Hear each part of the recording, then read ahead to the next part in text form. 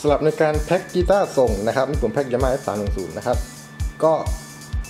อ่าผมจะเอาถุงพลาสติกหรือว่าเป็นถุงโฟมหรือเป็นอะไรก็ได้นะครับพวกถุงเก่าๆกระดาษก็ได้นะครับรองพื้นหนึ่งชั้นก่อนนะครับ แบบนี้นะครับสำหรับสเต็ปต่อไปนะครับเราก็จะซ้อนกระดาษนะครับโดยการตัดกระดาษนี้นะฮะนะครับเนี่ยซ้อนลักษณะนี้นะครับ เราเอาที่มันมีมุมนะครับ ที่มันเป็นพับอย่างนี้นะครับ แล้วก็ตัดให้เข้ารูปของมันนะครับอะซ้อนทั้งสองด้านนะครับ เพื่อจะ เสริมความแข็งแรงของสองด้านนะครับ ดันลงไปให้สุดนะครับ ฝั่งนี้ก็เหมือนกันนะครับก็ลักษณะอย่างนี้นะครับเนี่ยนะครับก็คือนี่เป็นมุมที่พับโดยอัตโนมัติของลังอยู่แล้วนะครับ แล้วก็ตัดมาแล้วก็ให้เข้ารูปนะครับก็ลงไปแน่นนะครับ ตัวนี้ก็พับเพื่อจะปกป้องขอบของกีตาร์อีกด้านหนึ่งนะครับ ส่วนฝั่งนี้เราก็จะทำเหมือนกันนะครับ ก็คือใช้ดัดลังที่มันเป็นขอบอย่างเงี้ยนะครับ เพื่อจะเสริมให้อย่างน้อยให้ได้อย่างน้อยสองชั้นนะครับ ต่อไปนะครับก็ปิดด้านบนนะครับก็เนี่ยนะฮะหอบนหอล่างนะครับ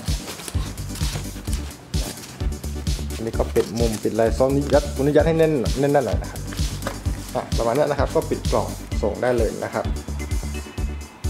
ทีนี้ก็อยู่ที่ว่าระยะทางการส่งแล้วก็มูลค่ากีตาร์นะครับถ้ากีตาร์แพงมากระยะทางส่งไกลเนี่ยก็แนะนำให้ใช้กระดาษตรงเนี้ยหนาๆนะครับพวกแข็งๆหน่อยนะครับดาษอ่อนๆอาจจะเอาไม่อยู่นะครับ ก็ต้องเลือกกระดาษที่มัน ข็งหนานะครับ ก็จะค่อนข้างปลอดภัยนะครับกล่องกีตาร์ก็สำคัญนะครับ ถ้าส่งไกลเนี่ยกล่องต้องกล่องหนากล่องแข็งนะครับ กล่องกีตาร์มีหลายเกรดนะครับ มีตั้งแต่บางกลางๆแล้วก็โคตรหนานะครับ ก็ต้องเลือกกล่องให้เหมาะกับกีตาร์ด้วยนะครับ เหมาะกับระยะทางที่ส่งนะครับอันนี้ก็เอาเทปมารับให้แน่นๆอีกสักชั้นหนึ่งก็ได้นะครับ ก่อนปิดฝากล่องนะครับ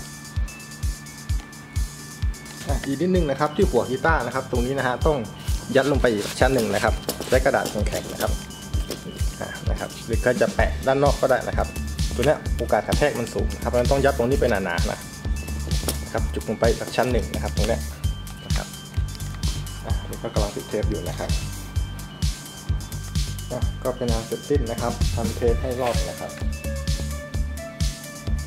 อะกล่องก็จะแน่นครับก็แปะชื่อส่งได้เลยครับผม